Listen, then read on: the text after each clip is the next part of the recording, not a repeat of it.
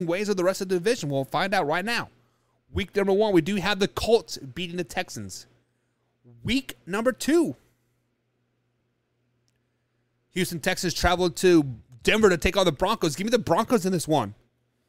It is tough to play at Mile High, especially coming from sea level to, to Mile High. It takes a couple days to get to to acclimate, and I don't think the Houston Texans franchise is smart enough to do that. Give me the uh, Broncos. Week number three, Davis Mills travels to Combs Stadium, Soldier Field in Chicago to take on the Bears. Justin Fields versus Davis Mills. Arguably the best two quarterbacks out of that draft. Wasn't Davis Mills in that draft? I'm pretty sure he was. Let's just go with it. It is what it is. Let's roll with it. Chicago Bears are not going to be very good. Justin Fields isn't the answer. Um, Eberflus isn't that his name? Eberflus is not the answer as a coach. Uh, Pool, the black GM that they got from the Chiefs, isn't the answer. But they do beat the Houston Texans. Bears win week three. Week number four, the Chargers come into Houston. Chargers just too freaking good. Week five, we had the Jaguars beating the Houston Texans. Week six, bye week. Way too early bye week for this young team. Way too early bye week for this young quarterback. Way too early. But coming off a bye week, they do travel to Vegas to take on the Raiders that are also coming off of a bye week. Give me the Raiders in this one. Week number eight, Titans taking on the Houston Texans. Texans flex on the Titans, baby. They flex on them. Ain't no shame in my game. Give it to me, baby. Uh-huh, uh-huh. Week nine. Fly, Eagle, fly.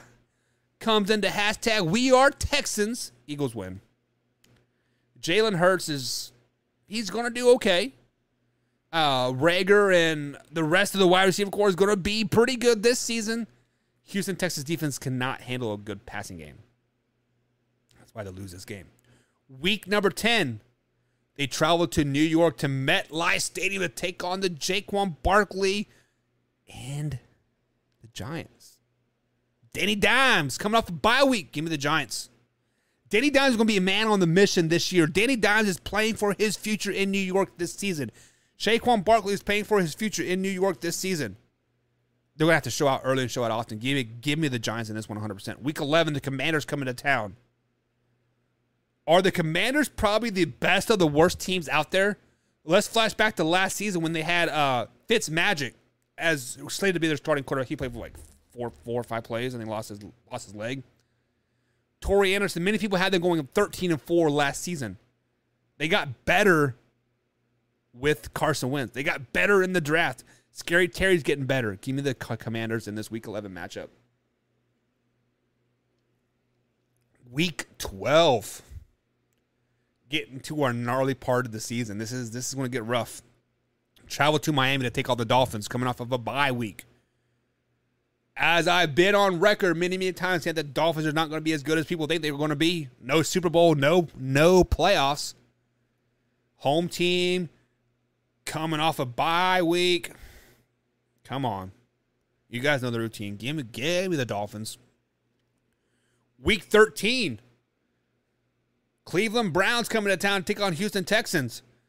Deshaun Watson, Baker Mayfield, Jacoby Brissett. I'm, I'm, I'm kidding. They're not even going to have any of those quarterbacks come this time. Jimmy G's going to be leading the be leading the way for the Cleveland Browns week week 13. Give me the Houston Texans in this game. Cleveland's going to be struggling. They're going to be trying to pass the ball over the field when they're a running team. They're built to run. They're going to try to be passing the ball with Jacoby Brissett. It's going to be bad. Week 14, Battle of Texas. Travel up that interstate from Houston to Dallas to take on the Cowboys. Give me the Cowboys. Sorry. America's team still owns Texas. It doesn't matter. Week 15, my Kansas City Chiefs come into town. There's always those games when good, superior teams forget to show the F up. Kansas City Chiefs forget to show the F up in this game is going to hurt them in this season. Kansas City Chiefs have a shit schedule. It is terribly hard. They have to win these easy games, and they don't. They don't beat the Texans. It hurts. I'm wearing a Kansas City Chiefs hat right now. I got my Super Bowl MVP trophy right there. Chiefs lose week five to the Texans. Week 16, we do have the Titans beating the Texans. Week 17, we had the Texans beating the Jaguars. Gave us an 18 week 18 matchup. Houston Texans taking on the Indianapolis Colts. Texans right now are sitting at a whopping where they at? Where they at? Four and twelve. Four and twelve. Last last in the last in, in the division. Colts win this game, finishing the record four and third thirteen. They, but this is going to be a solid four and thirteen. Now, just because you have a four and thirteen record, people say, "Oh, you suck." Yada yada. Look beyond the stats. Look beyond the win loss record. Look how solid this team is going to play this season. I think they're going to be close in every game. It is going to be a one possession game, ten out of the eighteen games or seventeen games. I'm I'm sorry. If the ball bounces one way or the other earlier in the season, they get some mo- momentum. These four wins could easily turn into eight, to turn into nine. It could possibly turn into ten wins this season. But unfortunately, you have to know how to lose before you know how to win. Does that make sense? You have to get your ass whooped over and over and over to get that chip, to develop personality, to learn how to win, to want to win. And the Houston Texans, they are building it. The franchise sucks, but the team is building it. The coaching staff is building it.